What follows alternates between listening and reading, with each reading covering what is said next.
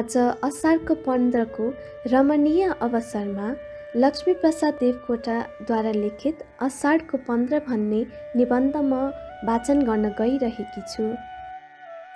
असारको पन्ध्र। नेपालमा खुसियाली छ। हृदयले नवागत पाहुनाको प्रेमपूर्वक स्वागत गरिरहेछ। क्षितिजको किनारमा पूर्वका डाँडामाथि आजको प्रभातको मनोहर मुहान देखिन साथ टुक्रिएका बादलका छिरबिरे फैलावटमा आनन्दको गुलाबी रङ्ग चढ्यो। एकैछिन पृथ्वीलाई स्वर्गको रङ्गले हलुका तवरले छायो। आजको लालीमा विशेष मोहनी थियो। आजको उदयमा हृदयको विशेष उल्लास थियो। प्रेमको अवलोकनले पृथ्वीका सौन्दर्यमा वैचित्र थप्दछ। भावको रङ्गले दुनियाँको रङ्ग चढाउँछ। नेपालको हृदयमा आज मधु तरङ्गहरू खेलिरहेछन्। पुकारा सुनेर स्वर्गको प्रत्युत्तर आउँदा हुने कृतज्ञता र उल्लाद आजको दिनमा छ। ईश्वरको आज्ञाले तथा सन्तान उपरको करुणाले पृथ्वीले कलिलोपन लिएकी छिन्। हामी सुनौला बोलीको आशाले बिउ रोप्न जान्छौँ। हातमा हरिया धानका बिउ छन्। हृदयमा आनन्द र आकाङ्क्षा मुटुमा हलुका लयदार स्पन्दन गलामा उर्लदो दिलको मधुर गान। आज हामीहरू तबतबे कलिला खेतमा बस्दछौँ आज नेपालमा खुसीको रोपाइँ छ। आज असाढको पन्ध्र हो। कृषि प्रधान देशमा रोपाइँको दिनभर देशको महोत्सव हुन्छ। यस दिन अलग अलग कुनामा खुम्चिएर रहेका झोपडीहरूलाई जीवनको जादुले छुन्छ। किसानको आँगनमा चिसमिसे बिहान भई वनस्पतिको देवदूतले आवाज दिन्छ। किसानका बालबच्चाहरू साना हातका खुसिला थपडीले बिहानीको स्वागत गर्दछन्।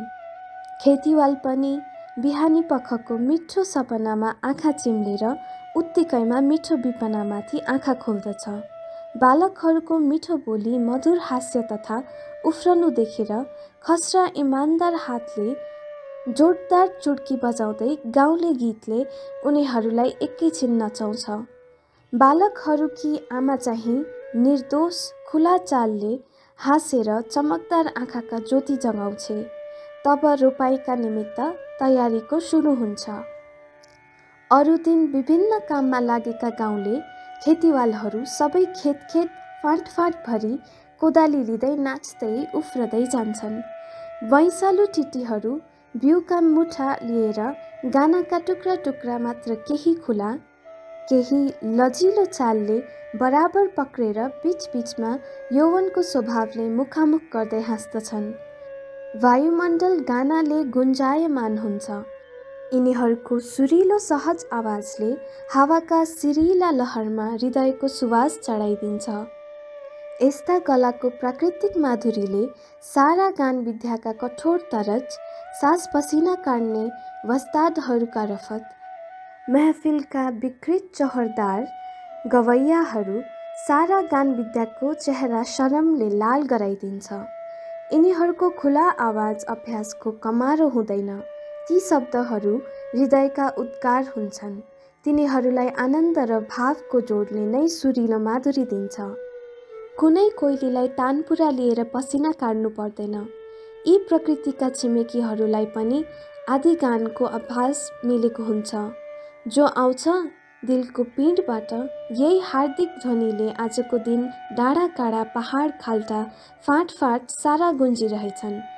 हृदयका आवाजहरू हावामा चक्राइरहेछन् पत्थरको छातीमा समेत टक्राइरहेछन्। नेपालको हृदयका सच्चा आवाज आजका दिनमा उठिरहेछन् लहराइरहेछन्। यो खुसियाली र यो आनन्दले प्रकृतिबाट पन्छिएर अलग रहन खोज्ने सहरलाई पनि नछोएको छैन।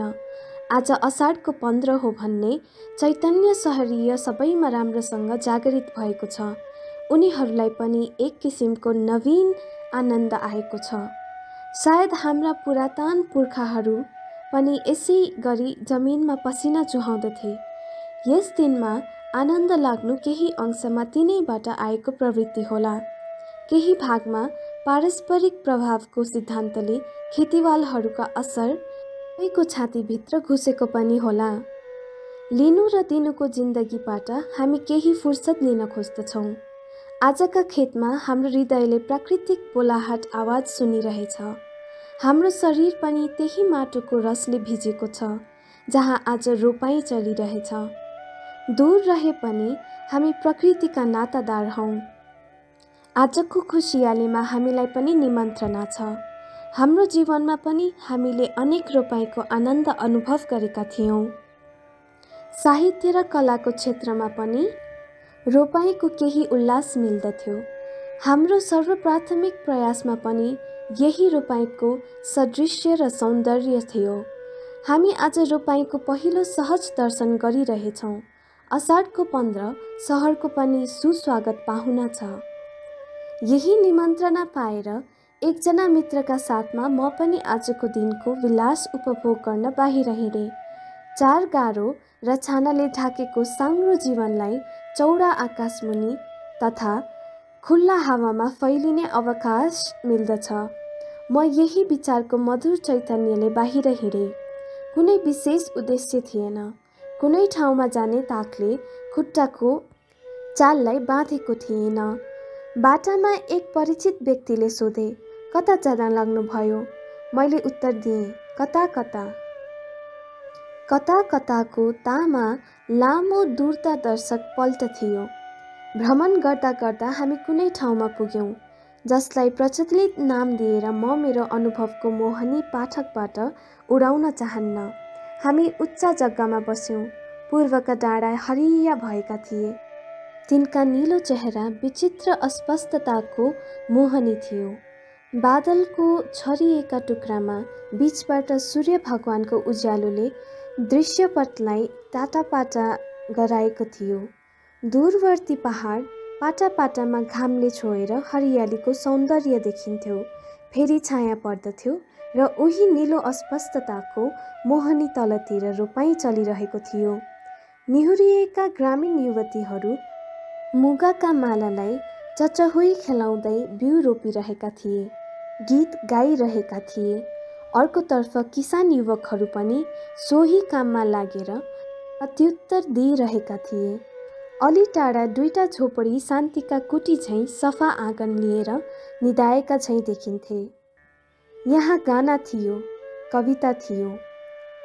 आँसु कविहरूको कलम त्यत्तिको छिटो चल्न सक्दैनथ्यो जतिको यिनका जिब्रामा सरस्वती। एकतर्फ प्रश्न उठ्यो अर्कोतर्फ तत्काल उचित जवाब आउँथ्यो। फेरि लयदार सुलिलो छन्दमा।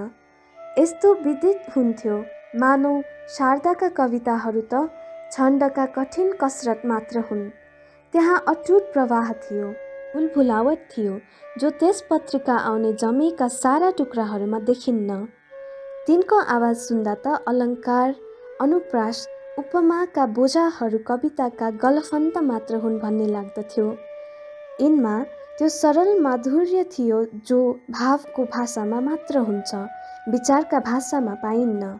सर्वसाधारण मानिसलाई पनि जब उत्तेजित भावले छुन्छ तब तिनीहरूका उच्चारणमा विचित्र रसको प्रादुर्भाव हुन्छ। मानिसका रुवाईमा सधैँ कविता हुन्छ त्यस्तै सच्चा उल्लासमा। हामी कविता बनाउन चाहन्छौँ निकाल्न चाहँदैनौँ। यिनीहरू बनाउँदैनन् भित्रैबाट झिक्छन्। हाम्रो शब्दको चातुरी छ यिनको भावको माधुरी। जडौरी शब्दका माला गाँच्ने कविहरू मसँग असाढको पन्ध्रको आउन्। चर्को कृत्रिम रङ्ग चढाउन खोज्नेलाई पनि मेरो निमन्त्रणा छ। म दही चिउरा खुवाउन चाहन्न गीत सुनाउन चाहन्छु।